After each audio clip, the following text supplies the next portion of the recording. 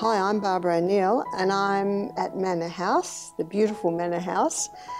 This is in Yorkshire, UK, and I'm running a one week health program here. And I'm here because I'm teaching health a few times a day. Manna House is run by Arthur and Lucy, and Lucy is highly trained and she works as the health director.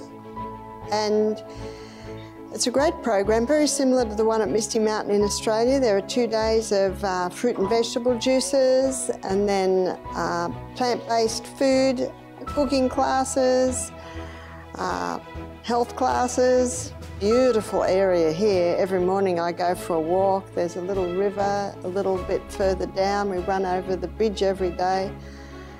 So it's a great place to come for a, a, week's break, a great place to come to have a detox, a great place to come to learn about health, learn about looking after your body and getting more out of life.